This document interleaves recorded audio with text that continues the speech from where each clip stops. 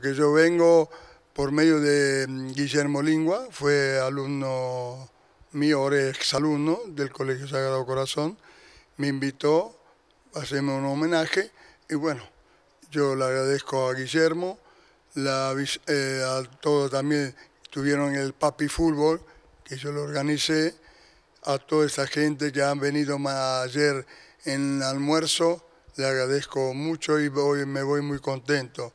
Como le dije a ustedes ayer, esto es mi casa.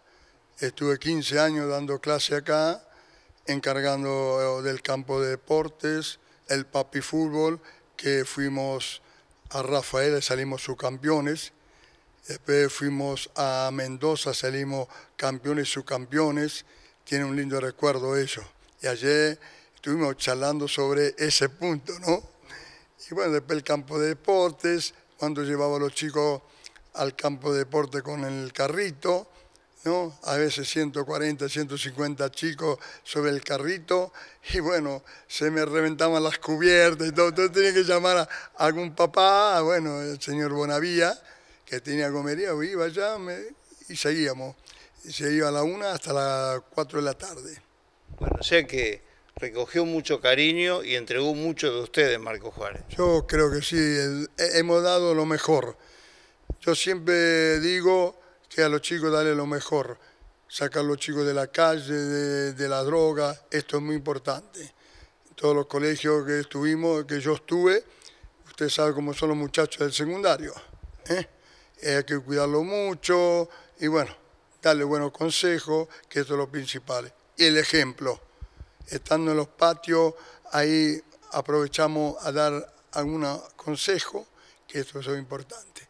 Eh, el padre Champañá, donde hay dos o tres chicos, tiene que haber un hermano ahí en el patio. Ahí yo siempre estaba. Eh, ¿Cómo ve hoy el colegio? Porque bueno, hubo muchos cambios, este, sigue bajo la órbita este, del catolicismo a través de FASTA, pero ¿cómo lo ve hoy? Bueno, mire, nosotros Usted sabe que cada vez somos menos hermanos. Entonces estamos dejando los colegios a los laicos. Son colegios nuestros a los laicos. Pero acá se le dio a FASTA, a una tercera congregación de los franciscanos. Tiene varias universidades en Buenos Aires, en otro lugar.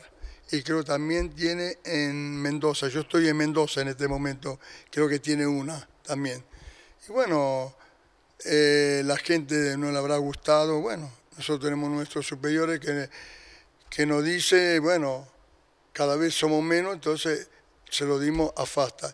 Y también Rafaela se lo dimos a la Curia. Los únicos dos colegios. Los demás, todos son colegios nuestros que tienen directivos laicos. Pero hoy en día la Congregación Marista va, está haciendo un arreglo, sí, no un arreglo, sí, unas, varias reuniones que el superior general Emilio Turú, que está en Roma en la Casa Generalicia, porque ayer lo dije, el Papa Francisco lo llamó para que se encargara de secretaría, es decir, secretario de las congregaciones, de los salesianos, de los franciscanos, eh, jesuitas, todo esto, para ver cómo, qué hacemos eh, con los laicos, hermanos, hermanos y laicos.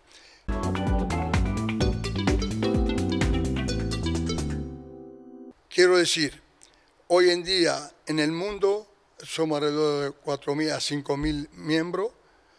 Tenemos en este momento en África que se reciben 100 hermanos cada año, en Nairobi otros 60, Colombia. Bueno, ahora entramos tres comunidades en Cuba y tres comunidades en la India, donde hay muchas vocaciones. Yo en Roma el año pasado me encontré con un hindú hablaba muy bien el italiano, ¿no? Y bueno, hablé con él y me dice, hermano, eh, ya entramos ahí, hay muchas vocaciones. Los jesuitas tienen cualquier cantidad de vocaciones. Por eso nos llamaron a nosotros para que fuéramos. Así que Dios nos, siga bendiciendo, qué sé yo. Eh, ¿Qué de su vida hoy?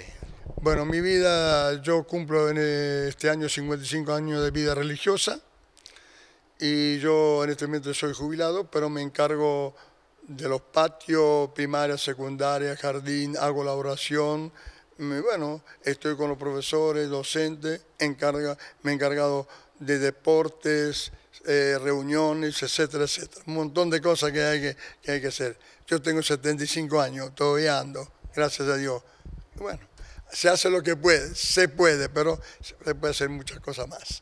Y siempre le da ganas de volver a Marco Juárez.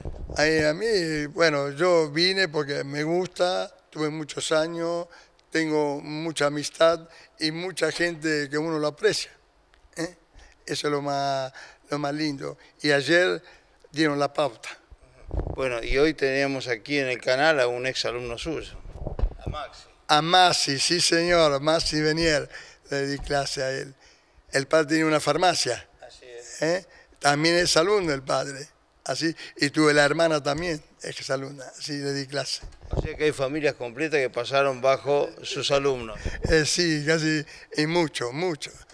Pero yo quiero darle un saludo a la ciudad de Marcos Juárez, que me ha recibido bien, como si fuera yo en mi casa. Yo le digo a toda la gente de la, de la ciudad de Marcos Juárez, los que no pudieron venir ayer, le doy un saludo y un abrazo a todos ellos, porque me han hablado que no podían venir porque tenían otro compromiso. Ayer éramos unas 60 personas, muy buena. Estaban los exalumnos que yo tuve y también yo había acá empezado el papi fútbol. Ahí son muchos papás que tienen los- eh, tenían los hijos, que yo le di clase.